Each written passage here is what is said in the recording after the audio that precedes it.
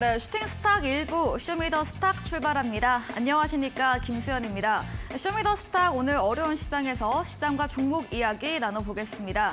그리고 전문가들의 제시해드렸던 전략주 AS 시간도 가져보고요. 또 마지막으로는 도전 상한가 이렇게 어려운 시장 속에서 수익 낼 수 있는 새로운 전략주도 준비되어 있습니다. 쇼미더 스탁 방송 이외에도 전문가들과 함께 하실 수 있습니다. 문자 샵 3772번으로 함께하고 싶은 전문가의 이름을 적어서 보내시면 저희가 입장 가능한 채팅방의 링크를 보내드리겠습니다. 네, 쇼미더스타 그럼 오늘 함께할 두 분의 전문가를 소개합니다.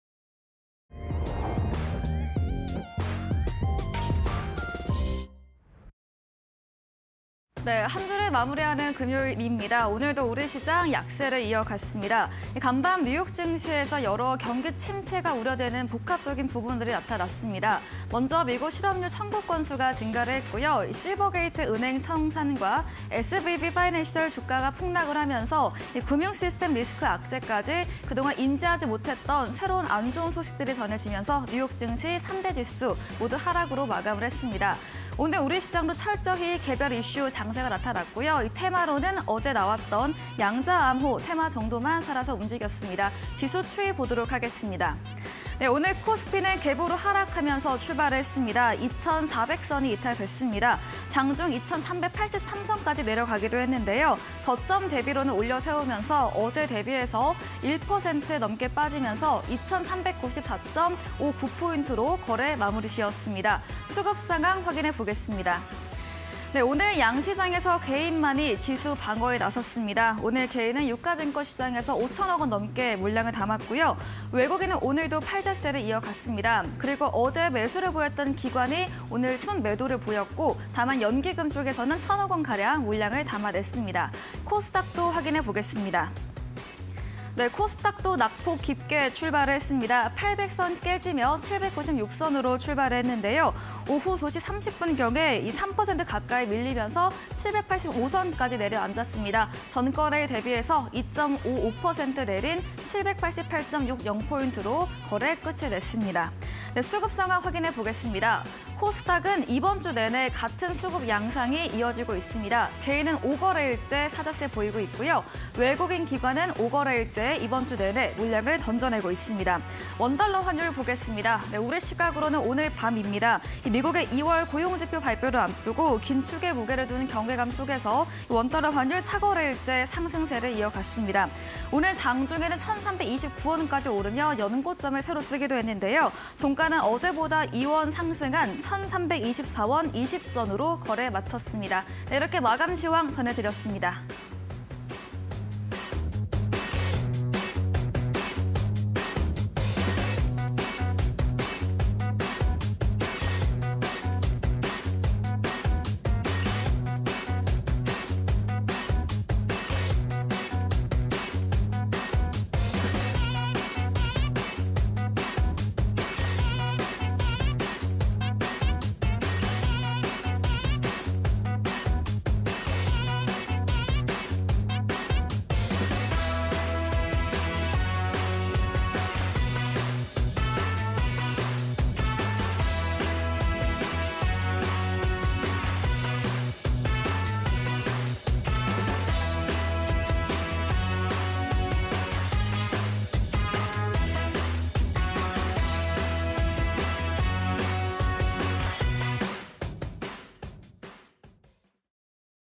네, 쇼미더스탁 오늘은 송가람 대표 그리고 이창용 대표와 함께합니다. 두 분 어서 오세요. 네, 네, 반갑습니다. 네, 오늘 우리 시장이 흔들렸습니다. 오늘도 전문가님들과 이런 시장 종목 이야기 나눠보겠습니다. 먼저 첫 번째 코너입니다. 오늘장에서 무대를 뒤집은 종목, 특징주 알아보는 시간이죠. 송가란 대표님의 첫 번째 특징주부터 들어보도록 하겠습니다. 어떤 걸 준비하셨을까요? 네, 오늘 첫 번째 특징주 미코바이오메드를 가지고 왔습니다. 네. 이 미코바이오메드 같은 경우에는 우리가 섹터를 이야기할 때 최근 얼마나 가지 않았느냐 이 점을 중점으로 말씀을 드리고 있는데요. 최근 우리가 전기차 그리고 AI 이런 섹터들이 굉장히 강했습니다. 이 강한 흐름 속에서 우리가 지금 가지 않았던 섹터가 어느 섹터가 있느냐라고 말씀을 드리자고 한다면 여기에서 제약주, 바이오주를 빼놓을 수가 없겠는데요. 오늘 이 미코바이오메드 같은 경우에 바로 상한가로 진입하면서 매우 강한 흐름을 보여줬습니다. 이렇게 강한 상한가가 나온 것은 뭐 최근 들어서는 그렇게 나오지 않았다는 부분이 있는데요. 뭐 미코바이오메드 같은 경우에 이슈를 먼저 체크를 해보자면 오늘 사우디 국영 기업의 투자 추진 소식이 들려오면서 상한가로 직행했습니다. 이 미코바이오메드 같은 경우에는 체외 진단 키트 그리고 진단 시스템 이 두 가지 영역에서 이전에 부각을 받았던 회사인데요. 뭐 체외 진단 관련해서는 2019년도 질병관리청에서 원숭이 두창 등 여기에 15종 이상의 병원체를 검출할 수 있는 실시간 유선자 검사 특허를 가지고 있는 회사입니다. 그렇기 때문에 이런 이전에 이슈가 있었던 원숭이 두창 그리고 바이오주, 제약주들이 이전에 강했던 이유가 바로 코로나19의 창궐 이후에 제약주 전체가 흐름을 주도했다라고 볼 수가 있겠는데요. 네. 이 흐름 속에서 신속 진단 시스템 이 허가가 나오면서 이 미코바이베드도 강한 흐름이 나왔습니다. 그리고 이 유럽 인증도 가지고 있는 상황인데 지금의 제약주, 바이오주들 흐름을 살펴보게 되면 이런 올라가지 않은 섹터 흐름 속에서 개별주들이 이렇게 강세를 보이고 있습니다. 그렇기 때문에 이 미코바이오메드의 투자 소식 한 가지만 볼 것이 아니라 우리가 이 섹터 속에서 이렇게 강한 흐름이 나온 종목이 나왔다는 것은 물론 지금 상황에서는 개별주들의 흐름이 지속이 되겠지만 이 섹터 전체적으로 바이오주들이 우상향으로 시장의 흐름을 주도할 수도 있는 위치에 왔다라는 점을 참고하시고 가져가시보신다면 시장을 보는 데 큰 도움이 되실 것이라고 생각합니다. 네, 첫 번째 종목으로는 미코 바이오 메드였습니다. 어제 사우디 국영기업 투자 소식의 시가부터 상한가로 직행을 하면서 고가, 종가 모두 상한가로 끝을 냈습니다. 이 실시간 유전자 검사 특허 기업인데요. 이 바이오 섹터 중에서 이렇게 강한 흐름의 종목이 나온 점, 향후 바이오가 우상향으로 시장 주도할 수 있다는 점 염두에 보자고 말해주셨습니다. 이야기해주신 송가란 대표님에게 방송 이후에도 더 많은 이야기, 자세한 전략을 듣고 싶다면 문자 샵 3772번으로 송가람 대표 적어서 보내시면 저희가 입장 가능한 채팅방에 링크 보내드리고요. 화면 하단에 QR코드도 보이시죠? 휴대폰 카메라 대시면 입장 가능하니까요. 장중에도 어, 정보들 얻어가 보시면 좋겠습니다. 네, 이번에는 이창용 대표님의 오늘의 첫 번째 무대를 뒤집은 종목 들어보겠습니다. 자 오늘 제가 가지고 나온 종목보다요 네, 테마를 가지고 나왔습니다. 네 어떤 테마인가요? 로봇 관련한 테마고요. 인공지능 쪽. 네. 그래서 일단 종목명은 마인드랩입니다. 일단은 마인드랩을 전체적으로 좀 설명을 좀 다시 한번 드리면 어, 챗 GPT 광풍에 따라서 1월 달, 2월 달 굉장히 강한 시세를 좀 보여줬었고요. 그리고 다음 달에 AI 서비스 제작 플랫폼 마음 2.0이 공개가 됩니다. 그리고 인공지능 관련주로서 1월 달 그리고 이번 달까지 굉장히 강한 시세를 보여줬는데요. 일단은 이 종목을 세부적으로 들어가기 전에 이제 관련 섹터들을 한번 우리가 살펴볼 필요성이 있습니다.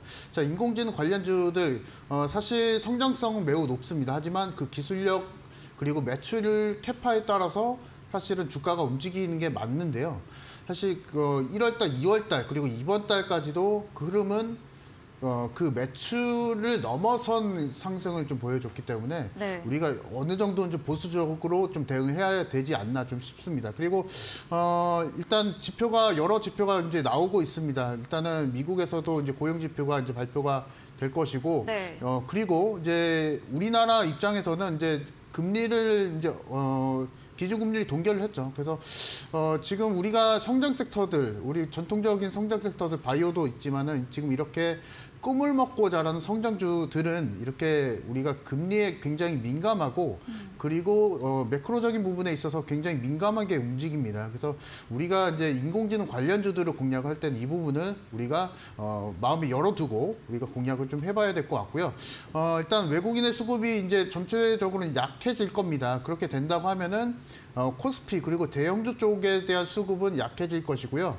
그리고 이렇게 된다고 하면 개별주들에 대한 흐름이 이어갈 수가 있겠죠. 그래서 지금 보시는 차트가 바로 마인즈랩 제가 마- 오- 오늘 말씀드렸던 어, 종목의 차트고 네. 어, 셀버스 AID 오- 오늘 어, 하락을 했다가 장 막판에 또 단- 반등을 했거든요. 그리고 코난 테크놀로지도 그렇고 최근에 관련주들이 어, 시장 하락에도 불구하고 굉장히 움직임이 그리고 자금에 대한 어, 오고 가고가 굉장히 세다. 그래서 어, 만약에 3월 달에 개별주에 대한 흐름이 이어진다고 하면은 어, 기존에 1월 달, 2월 달에 강세였었던 테마주들이 다시 한번 움직일 가능성이 있습니다. 하지만 어, 지금 상황에 있어서는 그 주가에 대한 연속성이 좀 또 많이 떨어지기 때문에 제가 지난 방송에서도 강조를 해드렸다시피 이런 테마주들은 단기 trading 관점에서 공략을 하시면 그래도 시장 하락기일 때 그래도 원활하게 그 짧게 짧게라도 수익을 낼 수 있지 않나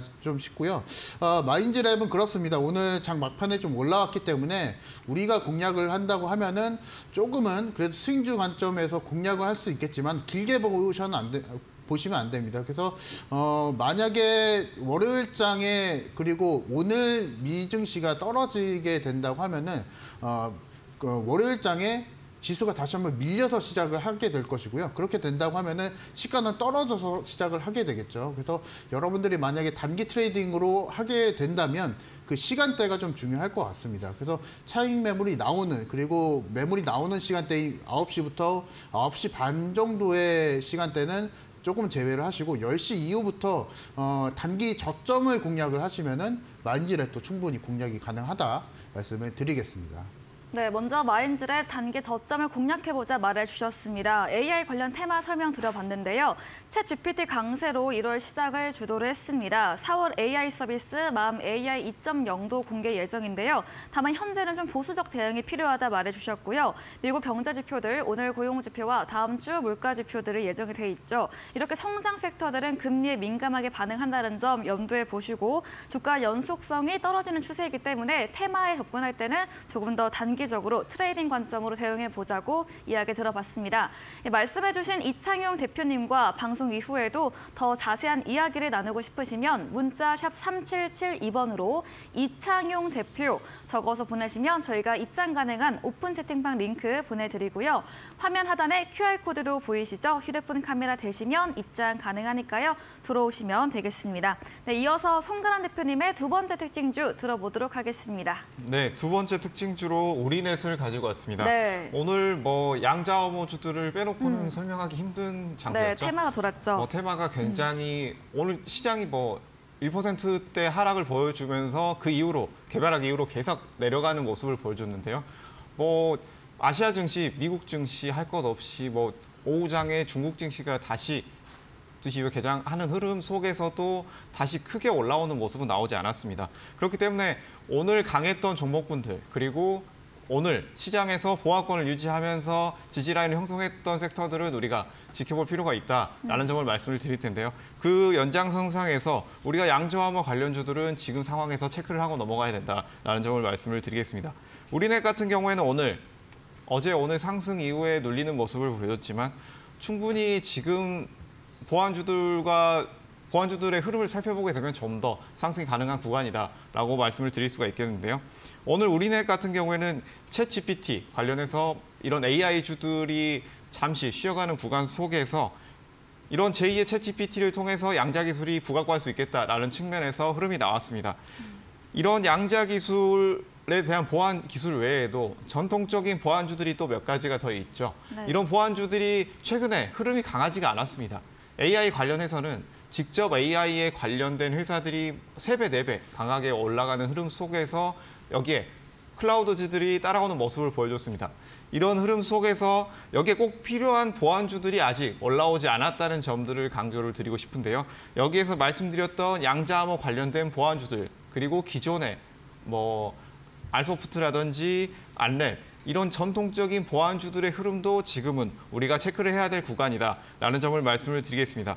그렇기 때문에 이런 양자암호주들, 보안주들 지금 재상승이 나온다고 하더라도 우리가 이 구간에서는 좀 더 체크가 필요한 구간이다라는 점을 말씀드리겠습니다. 네, 오늘 어려운 장에서 강세가 나왔던 양자, 암호, 테마 중 우리넷을 들어봤습니다. 보안주의 흐름을 본다면 더 상승 여력이 있다 말해주시면서 양자, 암호 관련 보안주 주의해서 보자 이렇게 이야기 들어봤네요. 다음으로는 이창현 대표님의 두 번째 특징주 들어보도록 하겠습니다. 자, 오늘 두 번째 종목은요. 네. 국민주를 가지고 나왔습니다. 네, 여러분 삼성전자. 시청자분들이 굉장히 많이 네. 가지고 계실 것 같은 삼성전자입니다. 그래서 사실 6만에 깨졌습니다. 그러네요. 네. 그래서 이 부분을 좀 설명을 드릴 거 드려야 될 것 같아서 네. 한번 가지고 나와 봤고요. 자, 삼성전자 명실상부 국내 1위 시가총액 1위의 대장주입니다. 그리고 어 최근에 금일 시장 하락 여파 그리고 최근에 2월 달에 주가 주식 지수 하락 여파로 인해서 인해서 네. 어, 최근에 좀 많이 힘든 모습을 좀 보여주고 있죠. 음. 뭐 사실 뭐 재작년까지만 해도 9만 전자 간다, 10만 던- 전자 간다 얘기는 참 많았지만 돌파는 못했죠. 하지만 여러분들이 조금만 버티시면 되실 것 같고요. 어, 2월달 이 삼성전자가 rebounding이 되기 위해서는 어, 우리가 이제 삼성전자가 가지고 있는 핵심 산업을 좀 살펴봐야 될 것 같고요. 네. 어, 사실 메모리 쪽이겠죠. 메모리 쪽 부분이 작년에 10월 달에 어, 수요도 감소를 하고요. 메모리 가격이 이제 20% 이상 하락을 하면서 어, 재고 자산이 상당히 좀 많이 좀 쌓였습니다. 그래서 재고 자산이 거의 50조 가량이 되거든요. 그래서 상당히 엄청난 어, 재고 자산이 많이 좀 쌓였기 때문에 어, 올해 삼성전자가 이 재고 자산을 얼만큼 줄이느냐가 또 관건이 될 것 같고요. 그리고 메모리 반도체 수요가 어떻게까지 올라갈지 그리고 어, PC 반, 메, 어, 사실 메모리 반도체 같은 경우에는 PC랑 핸드폰에 많이 들어갑니다. 그래서 이 수요가 어느 정도까지 회복이 될지 이 부분이 또 관건이 될 것 같고요. 어, 또한 어, 사실 이 전체적인 흐름은 어, 경기 둔화에 있을 수가 있습니다. 경기 둔화는 사실 길게 보자면 어, 코로나 여파도 있었고요. 그것을 해결하려고 할 때쯤에 어, 우크라이나 전쟁이 또 발발이 됐죠. 그래서 이 부분의 여파로 인해서 어디까지 경기가 또 회복이 될지, 그로 인해서 메모리 반도체에 대한 수요가 어디까지 또 회복이 될지 이 부분이 또 관건이 될 것 같습니다. 일단은 또 특이점을 또 말씀 좀 드리면요. 어, 사실 지금 최근에 어, 삼성전자가 돈을 좀 빌렸습니다. 돈을 삼성 디스플레이 쪽으로 빌렸거든요. 그래서 이 부분이 사실 돈이 없는 게 아니고요. 어, 지금 해외 법인 쪽, 삼성전자 해외 법인 쪽에 현금성 자산이 상당히 많기 때문에 한국 법인 쪽에서는 상당히 지금 어려운 상태이기 때문에 살짝 좀 돈을 좀 빌렸습니다. 그래서 이 부분을 우리가 좀 투자 포인트로 좀 잡아야 될 것 같고요.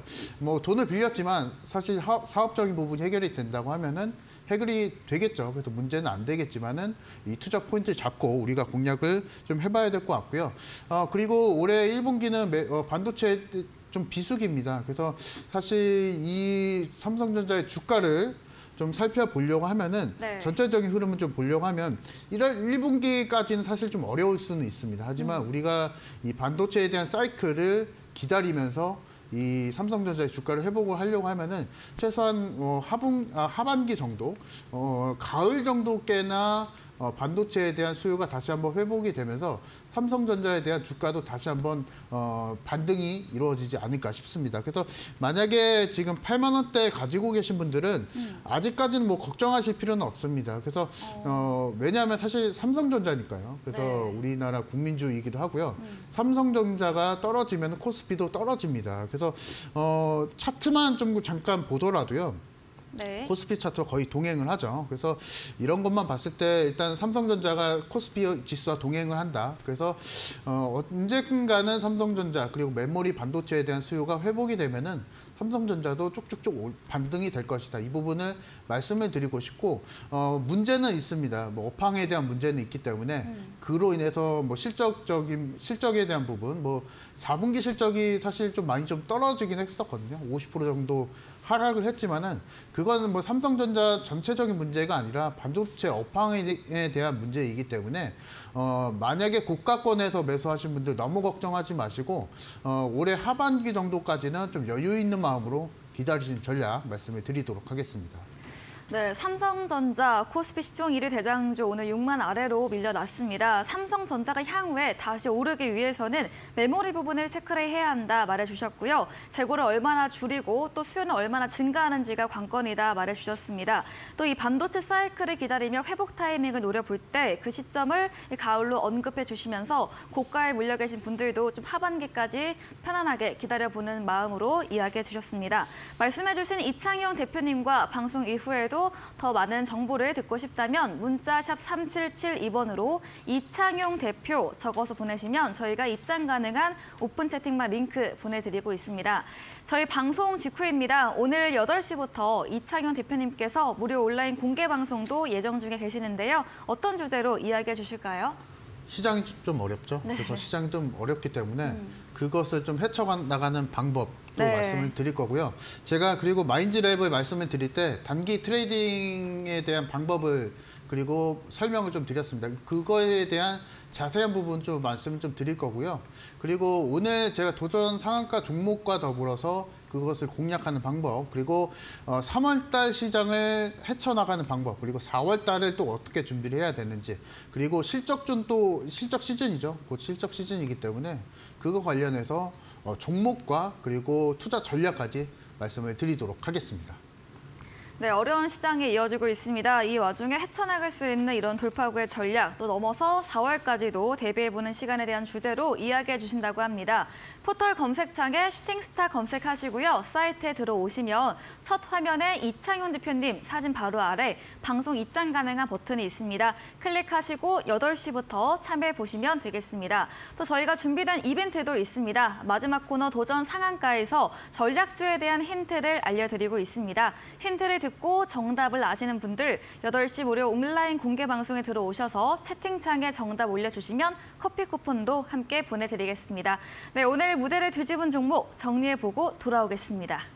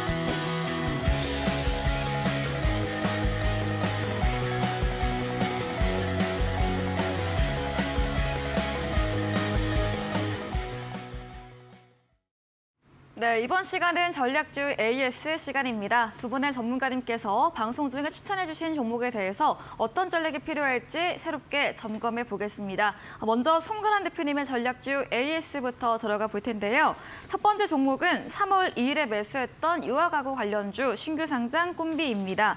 화요일에 출연하셔서 이런 분할 수익으로 실현 후에 잔량으로 된 의견 주셨는데요. 수요일 날 장중에 26% 급등을 했고요. 이후 어제 오늘은 좀 조정을 받고 있습니다. 최고가 수익이 57% 달성을 했는데 꿈비 더 가져가야 될까 아니면 이제는 정리를 해야 될까요? 뭐 지금 꿈비가 저출산 대장주로 흐름을 나오고 있습니다. 네. 그 소속에서 이런 정부 정책 같은 경우에는 제가 지속적으로 말씀드리는 부분이 네. 정부 정책으로 한번 선정이 되게 된다면 꾸준히 이슈가 나오면서 상승 흐름이 나올 것이다 라는 점을 말씀을 드렸습니다. 그렇기 때문에 이 3월 2일에 급등이 나온 이후에 30% 40% 이렇게 큰 흐름이 나온 이후에도 지속적으로 우리가 남은 물량은 어느 정도 소폭 축소한 이후에 가져가 볼 필요가 있다라고 말씀을 드렸는데 그 이유가 바로 그 같은 맥락에서 이 부분을 말씀드린 것이라고 할 수가 있겠습니다. 네. 이 꿈비 같은 경우에는 뭐 저출산 테마가 지금은 굉장히 강한 부분이 있는데요. 국가에서 지금 현재 이슈가 계속 나오고 있고 정부에서도 윤 정부에서 자꾸 이 부분에 대해서 언급을 하면서 우리가 챙기고 있다라는 측면을 이야기를 하고 있습니다. 현재 그리고 출산율 저하 같은 경우에 뭐 의아하게 생각하시는 분들이 있을 것이라고 생각을 합니다. 출산율이 저하된다면 네. 이런 출산 관련된 회사들 음. 이런 것들이 부각을 받을 이유가 있겠느냐 음. 오히려 매출이 줄지 않겠느냐라는 측면이 있을 수 있겠는데요 네. 그렇지만 이런 출산율이 줄다고 하더라도 음. 이런 자녀에 대한 지원이 굉장히 늘어나게 됩니다. 네, 한 아이에게 네, 더 그렇죠. 많은 투자를 한 아이에게. 네. 아이가 우리가 전 예전 같은 아주 음. 오래전 얘기지만 네. 세명 네명 맞아요. 형제도 비교던 많고. 시기가 네. 있었는데 지금은 뭐 한 명, 두명 맞아요. 혹은 음. 뭐 대부분 낳지 않으시는 분들도 계시는데요. 음, 네. 그렇기 때문에 이런 아이가 한 명인 경우에는 음. 지금 이런 우리가 벌어들이는 돈이 예전만큼 크지 않다고 하더라도 네. 거기에 많은 투자를 하게 되죠. 음. 그렇기 때문에 출산율이 저하되게 되더라도 이 자녀들에 대한 쏠림 현상이 늘어나기 때문에 유아용품 시장 자체는 성장할 수밖에 없다라는 측면을 말씀을 드리겠고요. 그리고 뭐 이런 출산 장려 정책 등이 굉장히 강하고 또 한중 출산 장려 정책이 지금 계속 추가적으로 나오고 있습니다. 한국뿐만이 아니라 중국에서 이슈까지 함께 나오고 있는 상황이기 때문에 이런 것들을 우리가 체크할 필요가 있겠다라는 점을 말씀을 드리겠고요. 또 여기에서 제가 정부 정책이다라는 점을 지속적으로 말씀을 드리는 이유는 네. 바로 국내외 저출산 해결을 하기 위해서 중국도 마찬가지고 우리나라에서도 예산을 계속적으로 확대하는 부분이 있습니다. 그 이유 같은 경우에는 이런 정책들이 계속 적용되고 있지만 실질적으로 지금 뭐 한 가정의 일도 떨어진 상황이죠. 그러니까 한 부부가 한 명을 낳지 않는다라는 시대가 도래했다는 이야기입니다. 그런 상황 속에서 이 지표가 점차 나쁘게 흘러가고 있는 현상이 지속되고 있기 때문에 이런 저출산을 해결하기 위한 예산은 점차 증가될 것이다 라는 측면을 말씀을 드리겠습니다. 네. 이 대장주를 기술적으로 다시 한번 말씀을 드리자면 네. 지금은 어느 정도 고점에 있기 때문에 이 적은 물량으로 가져가 보시되 이 2만 3천 원대 라인까지 다시 눌리게 된다면 여기에서 비중을 좀 더 추가해서 다시 한번 가져가 보는 것도 나쁘지 않은 위치다라는 점을 다시 한번 말씀을 드리겠습니다.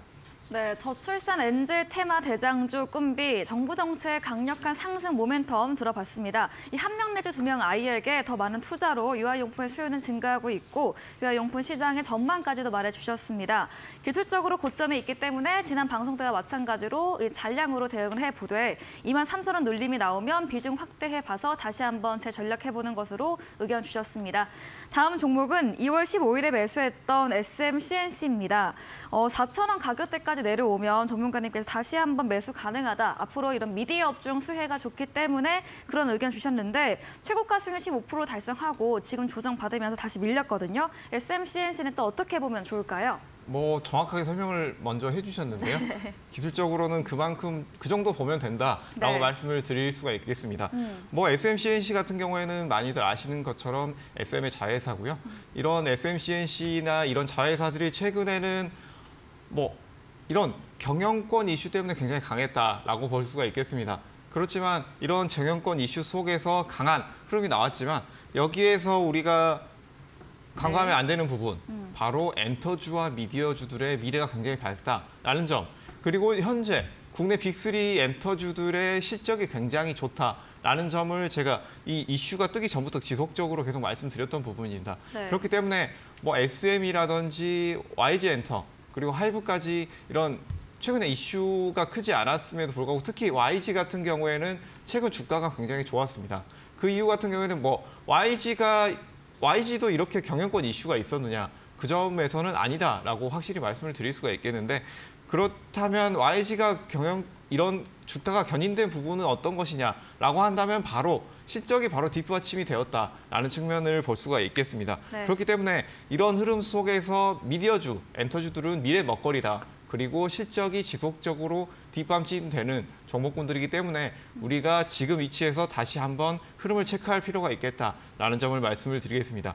이 SMCNC 종목 자체를 기술적 위치를 살펴보게 된다면 여기에서 우리가 강한 수익을권을 낸 이후에 눌릴 때 제가 한번 말씀을 드렸죠. 네. 다시 재상승이 나올 것이다. 하지만 여기에서 기술적 위치만 보게 된다면 우리가 두 번의 돌파 시도 이후에 시장에 영향이 있긴 했지만 크게 눌리는 모습입니다. 그렇기 때문에 여기에서는 다시 재매수가 가능한 위치로 아주 좋은 위치에 왔지만 여기에서 우리가 더 눌리게 된다면 3,800원대 이 라인에서는 좀 더 우리가 주의를 할 필요가 있는 구간이다라는 점을 말씀을 드리겠고요. 이 SM 관련된 경영권 이슈는 아직 끝난 부분이 아니다라는 점이 첫 번째 그리고 두 번째는 바로 미디어 엔터주들의 실적 그리고 미래 성장성 이 두 가지를 함께 보신다면 이 종목까지 함께 앞으로 흐름까지 체크해 볼 수 있겠다라는 점을 말씀드리겠습니다. 네, 경영권 이슈 외에도 엔터 미디어 업종 실적도 뒷받침되고 미래 긍정적이다 말해주셨습니다. 현재 가격은 매수 유효하지만 3,800원대 라인에서는 주의가 필요하다 이렇게 말씀 남겨주셨네요.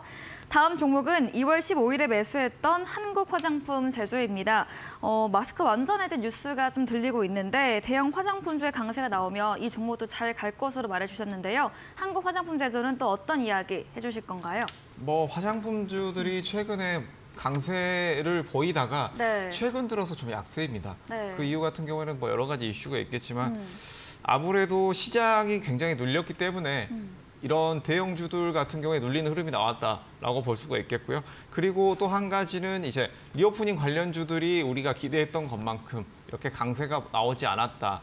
그 이유 같은 경우에는 뭐 AI 종목군들 그리고 그 이후에는 2차 전지 섹터 네. 이런 강한 sector가 한 가지로만 특히 그 안에서 2차 전지 같은 경우에는 에코프로 같은 대형주들로만 흐름이 강하게 나왔기 때문에 그쪽에서의 흐름이 집중되었다라고 볼 수가 있겠습니다. 그렇기 때문에 이런 화장품주들의 흐름이 약세가 나왔다. 특히 오늘 같은 경우에는 뭐 미국과 중국 이런 시장 속의 흐름 속에서 우리 국내에서 외교 포지션이 어떻게 될 것이냐라는 점에 우려가 굉장히 컸다라는 측면이 있습니다. 하지만 이 점은 장기적으로 이슈가 크게 나올 것은 아니다라는 측면을 말씀을 드리겠고요.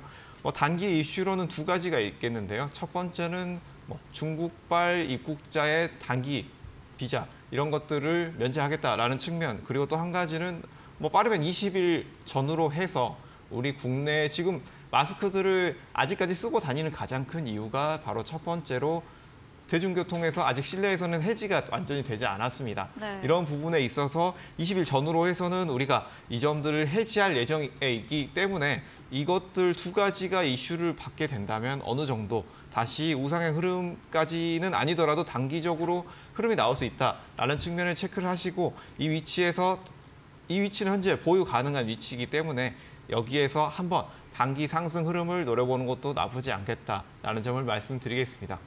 네, AI, 2차 전지, 로봇 등 1, 2월 테마가 강하게 쏠리면서 리오프닝은 상대적으로 수혜를 받았습니다. 이 중국발 입국자 단기 비자 면제나 또 20일 내외로 마스크 완전 해제 제도까지 나온다면 조금 더 보유를 해보면서 상승세를 기대해 볼 수 있겠다 이런 말씀 남겨주셨습니다. AS 도와주신 송가란 대표님과 방송 이후에도 더 많은 이야기를 나누고 싶으시면 문자 샵 3772번으로 송가람 대표 적어서 보내시면 저희가 답장으로 입장 가능한 채팅 방의 링크 보내드리겠습니다. 네, 이번에는 이창용 대표님의 전략주 AS도 들어가 보겠습니다. 첫 번째 종목은 지난 방송 추천주였던 포스코 엠텍입니다. 어, 대표님께서 이 종목은 단기 trading 관점으로 해, 하겠다 말씀하셨고 수익률이 몇 퍼센트죠? 바로 네. 달성을 했습니다. 10% 가까운 수익을 냈는데 네. 바로 다음 날 올라가더라고요 또. 아, 네. 네. 일단은 포스, 포스코 엠텍을 투자 포인트로 말씀드렸던 게 뭐냐면 네. 2차 전지였죠. 네. 2차 전지 쪽이었고요. 아 근데 이제 2차 전지를 이제 제가 다시 한번 좀 말씀을 드려야 될 건 뭐냐면요. 음. 많이 올랐습니다. 2차 전지가 많이 올랐고요. 뭐 2월 달, 3월 달 쉬지 않고 올랐기 때문에 어, 관련 소재 단이 많이 또 올랐었고 원재료들 그리고 어, 소부장 관련해서도 2차 전지 관련주들이 굉장히 좀 많이 올랐습니다. 그래서 이 부분이 또 영향이 또 있고요. 그리고 최근에 오늘 하락 같은 경우에는 어, 사실 2차 전지들이 전반적으로 오늘 쉬어가는 장이었습니다. 그래서 그 영향이 아마 있을 것으로 예상이 됩니다. 일단은 포스코엠텍 차트를 보면서 다시 한번 말씀을 드리도록 하겠습니다. 제가 사실 이 종목을 이날 바로 드렸었죠. 상한가 네. 가고 나서 음. 우리 노란 톡방에 오시면은 trading 가능하다 말씀을 드렸었고요. 그 다음 날 바로 수익권이 도달을 했습니다. 그래서 네. 어, 여러분들이 차트를 많이 보시는 건 압니다. 주식시장에서 차트를 보시고 그 맥점을 잡고 매수 시점을 잡고 매도 시점을 잡고 잡는 건 어, 되게 좋은 겁니다. 하지만 우리가 그 전에 그 뿌리를 알게 되면은 차트를 많이 안 보더라도 수익을 많이 낼 수가 있고요. 그 뿌리는 최근의 시장 트렌드를 여러분들이 잘 읽으시면 된다 말씀을 드렸습니다. 제가 이 상한가 간 종목 어, 말씀을 드릴 때 차트 많이 보지 않았고요. 최근에 2차전지 소재단이 강하기 때문에 그리고 우리가 그 안에서 장중에 공략이 가능하다. 그 부분을 또 말씀을 드렸습니다. 그래서 수익 내신 분들 먼저 좀 축하드린다 말씀을 드리고 싶고요. 일단 포스코 엔텍 같은 경우에는 어, 앞서서 말씀을 드렸다시피 어, 망간 쪽입니다. 망간 쪽그 2차전지 안에 네. 양극재 원료로 되어 있는 망간을 생산을 하고 있는 기업이고요. 어, 리- 어, 망간과 더불어서 리튬 굉장히 요즘에 많이 뜨고 있죠. 그래서 이런 소재단들이 원재료들 많이 뜨고 있지만 어, 최근에 그리고 오늘장도 그렇고요. 어, 외국인의 수급, 시장 외국인의 수급들이 약세를 보여주고 있고 그리고 어, 제가 이제 뒤에도 말씀드린 에코프로 같은 어, 2차전지 끌고 가는 종목들도 오늘 하락세를 좀 보여줬습니다. 그래서 어, 포스코 엔텍 같은 경우에는 어, 이제는 조금은 어, 눌림이 나오는 그 상황을 우리가 좀 기다려 봐야 된다. 그 부분을 말씀을 좀 드리고 싶고요. 이 눌림이 나오는 상황을 기다려 보려면 우리가 이제 오늘장의 미증시를 다시 한번 살펴봐야 됩니다. 미증시가 어떻게 또 나스닥이 전일자에 사실 2% 이상 빠졌기 때문에 네. 그 영향이 또 이- 어, 월요일장에 또 있을 수가 있겠고요. 그 영향으로 인해서 2차 전지 관련주들이 또 영향이 있을 수가 있습니다. 또 쉬어갈 수가 있기 때문에 그 부분에 있어서 우리가 만약에 지금 오늘장에 그 보유하신 분들은 빠르게 수익 실현 하시는 걸 수익 실현 아마 이번 주에 하셨을 겁니다. 그래서 네. 이번 주에 하셨기 때문에 일단은 포스코 엔텍 같은 경우에는 조금 쉬어갈 때 제가 AS 다시 한번 해드릴 거니까 일단은 재공략 시점을 좀 말씀을 좀 드리면요 한 만 원대 정도까지 내려오면은 다시 한번 공략이 가능하다 말씀을 좀 드리겠고요. 어, 목표 수익률은 조금 높게 잡겠습니다. 뭐 기존에 제가 5%를 말씀을 드렸다면 10%로 상향을 해서 말씀을 드리겠고요. 어, 매수 시점은 어, 지금 차트만 보지 마시고요. 어, 미국 시, 어, 상황에 맞춰서 미 증시 상황에 맞춰서 공략하시는 걸 말씀을 드리도록 하겠습니다. 네, 일단은 2차 전지 업종에 너무나 많이 상승했다. 먼저 말씀해 주셨습니다. 이 포스코엠텍 소재단 망간 생산 종목으로 추천 주신 종목으로 다음 날 수익률 달성에 성공을 했습니다. 이제는 눌림 나올 것을 염두에 보면서 수익 실현 의견 주셨고요. 오늘 밤 뉴욕 증시 흐름 체크하고 다음 주 시장 2차 전지 종목을 대응해 보자라는 말씀과 어, 포스코엠텍 만 원까지 내려오면 재공략 가능하고 목표 수익률 10%로 제시해 주셨습니다. 다음 종목은 2월 13일에 매수했던 라파스 의료기기 관련 종목입니다. 화요일부터 장중에 14% 강세 나왔고요. 수요일도 강세를 보이고 오늘도 또 강세가 나왔습니다. 이 종목은 어떤 말씀해 주 실까요? 어, 사실 오늘 네. 시장이 빠지는데도 4% 네. 이상 상승을 좀 보여줬기 때문에요. 어, 추가적으로, 근데 결론적으로 말씀을 드리면은 네. 매수가 가능하다라는 의견을 좀 드리고 싶고요. 네. 어, 사실 라파스에 대해서 한번 설명을 좀 드리면요. 어, 마이크로 니들이라는 기술이 있습니다. 이게 지금 머리카락보다 얇은 어, 주사 바늘이죠. 그래서 이것을 패치 형태로 부착을 시켜서 어, 나중에 이게 상용화가 되면요. 병원에서 우리가 주사를 맞지 않고 주사 패치를 붙이고 그냥 집에 가면 됩니다. 그래서 어, 굉장히 간편하고 그리고 흡수율도 빠르고요. 그리고 우리가 사실 알약으로 먹는 경구용 알약보다도 흡수율이 굉장히 높기 때문에 어, 사실 라파스가 기존의 시세를 받았던 게 바로 코로나 시대 때였을 겁니다. 그래서 그때 백신 관련해서 마이크로 니들이 떴었고요. 어, 라파스 같은 경우에는 일단은 좀 차트를 보면서 다시 한번 좀 설명을 좀 드리면요. 네. 2월 중순에 제가 제시를 해드렸습니다. 이날 제시를 해드렸고 그 이후, 이후에 추가적으로 물량 매집이 들어가게 되면서 급등이 한번 나왔었죠. 그래서 어, 지금 오늘자에 양봉이 좀 출현을 했기 때문에 월요일자에도 한 번 더 기대를 좀 해볼 수가 있을 것 같습니다. 그래서 여러분들이 공략을 하실 때는 어, 지금 최근에 바이오 쪽이 다시 한번 조금씩 수급이 좀 올라오고 있기 때문에 이에 맞춰서 이에 맞춰서 공략을 좀 하시면 좋을 것으로 예상이 되고요. 어, 목표가는 이미 좀 도달을 했기 때문에 어, 추가적으로 제가 말씀을 좀 드리진 않겠고 어, swing주로 편안하게 공략하시면서 어, 수익 내시면 되실 것 같습니다.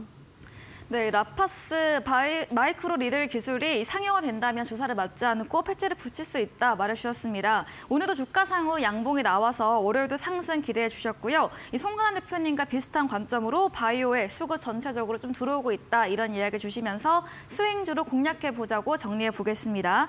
다음 종목은 2월 7일 매수했던 에코프로입니다. 어, 지난주에 금요일에 나와서 새로운 전략을 주신다고 하셨는데 뭐 포스코 엠텍과 비슷한 기조이겠죠? 그렇죠. 네. 근데 내용은 좀 다릅니다. 네, 한번 들어볼까요? 일단은 네. 어, 제가 계속 에코프로를 말씀드릴 때요. 네. 데이터를 계속 가지고 나오고 있죠. 네. 그래서 그 데이터 공매도 관련 데이터를 말씀을 드리도록 하겠습니다. 아, 지금 여러분들이 보고 계시는 데이터가 공매도 잔고 금액, 어, 에코프로에 대한 공매도 잔고 금액입니다. 어, 최근에 공매도 잔고 금액이 많이 늘었고요. 20% 이상 올랐던 상황. 그리고 오늘자에 에코프로의 차트를 보시면은 5% 이상 하락을 했습니다. 네. 어, 에코 어, 공매도 세력들이 끼- 딱 좋아하는 어, 상황이 연출이 됐고요. 이렇게 된다고 하면은 공매도가 차익 실현을 할 수가 있습니다. 그렇게 되면은 주가가 더 떨어질 수가 있겠고요. 그리고 금리 인상 뭐 매크로적인 부분 시장이 뭐 코스피 코스닥이 빠지는 상황이 연출이 된다면 어, 계속적으로 공매도가 매도를 하면서 수익 실현하는 그 상황이 연출이 될 수가 있기 때문에 그 부분을 우리가 좀 어, 관, 어, 우리가 체크 포인트를 잡고 공략을 좀 하시면 좋을 것 같고요.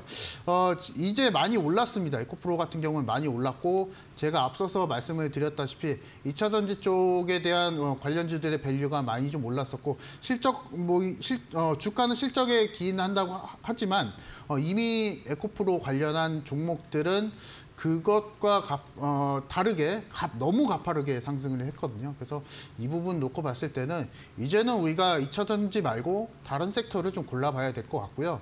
어, 지금 최근에 코스피, 코스닥 시장 상황이 어, 2차 전지 아닌 다른 테마주들, 다른 섹터들을 골라내고 있는 작업을 많이 해놓고 있는 상황입니다. 하고 있고요. 그래서 이 부분에 맞춰서 우리가 좀 공략을 좀 해보면 좋을 것으로 예상이 되고요.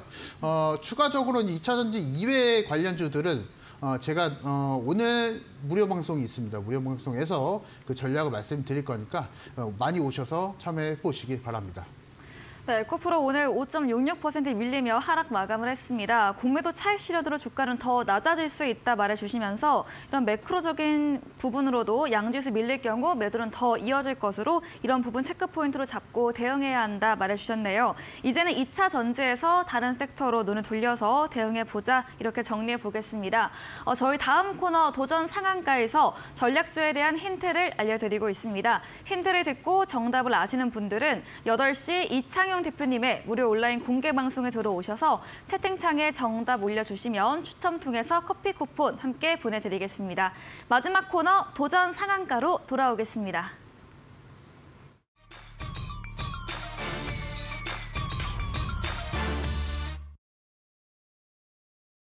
네, 도전 상한가 새로운 전략주 들어보는 시간입니다. 송그란 대표님의 오늘의 전략주 들어보도록 하겠습니다. 네, 오늘의 전략 주로는 네. 아가방 컴퍼니를 가지고 왔습니다. 어, 또 비슷한 네네. 저출산 관련 주네요. 네, 아가방 컴퍼니는 뭐 많이 들어보셨을 텐데요. 네. 뭐 전통적인 저출산 관련 주라고 할 수가 있겠습니다. 이 아가방 컴퍼니 같은 경우에는 뭐 기존에 제가 말씀을 드렸던 종목 같은 경우에는 꿈비가 있겠는데요. 이런 정부 정책주 관련해서는 지속적으로 나오는 흐름이 있습니다. 그 흐름을 예를 들어서 설명을 해드리자면 이 대장주가 강하게 올라가는 흐름이 나오게 된다면 대장주가 어느 정도 지금은 과열 구간에 들어가는 구간이다라고 볼 수가 있겠습니다. 그렇지만 이런 흐름 속에서 여기에서 대장주가 고점에 있기 때문에 우리가 이 섹터 자체를 이제 놓고 그냥 보- 두고 보기만 할 것이냐라고 하기에는 매우 아쉬운 구간이다라고 네. 볼 수가 있겠는데 그 이유 같은 경우에는 이런 저출산 섹터가 우리가 앞으로도 굉장히 강할 것이다라고 보지만 이런 대장주가 그대로 뭐 에코프로 흐름처럼 계속 그렇게 강하게 갈 것이다 라고는 우리가 장담할 수 없는 상황이기 때문에 지금 상황에서 신규로 어느 정도 접근해 본다고 한다면 이런 아가방 컴퍼니 같은 대장주에서 좀 더 흐름이 나오지 않은 아직 이런 value가 높지 않은 종목이나 회사들을 여기서 우리가 더 챙겨서 가져가 본다면 지금 우리가 충분히 여기에서는 네. 가- 접근해 볼 만한 가격대에 있다라는 점을 말씀을 드리겠고요. 뭐 이런 흐름 속에서 우리 2022년 같은 경우에 출산율 같은 경우에 합계 출산율이 0.78입니다. 이 0.78 같은 경우에는 쉽게 설명을 드리자면 이렇게 부부가 한 쌍이 있다라고 한다면 이 한 쌍의 부부가 한 명도 낳지 않는다라는 네. 것이죠. 바로 0.78명을 낳고 있다라는 말이기 때문에 이런 오이시스 국가 중에서 합계 출산율이 2013년부터 꼴찌를 기록하고 있습니다. 네. 그렇기 때문에 지금 굉장히 심각한 상황이라고 볼 수가 있겠고요. 음. 24년까지 출산율이 0.7명까지도 하락할 것이다 라고 통계청에서 발표한 바가 있습니다. 그렇기 때문에 지금 굉장히 우리나라 상황이 발등에 불이 떨어진 상황이다 라고 보여지기 때문이고 이런 흐름 속에서 제가 초반에 꿈비를 설명드리면서 말씀드렸던 부분 바로 네. 우리가 출산 수는 줄어들지만 여기에서 추가적으로 지원되는 금액은 굉장히 크다라는 부분 첫 번째 그리고 두 번째로는 정부 지원금이 굉장히 크게 늘어나고 있다.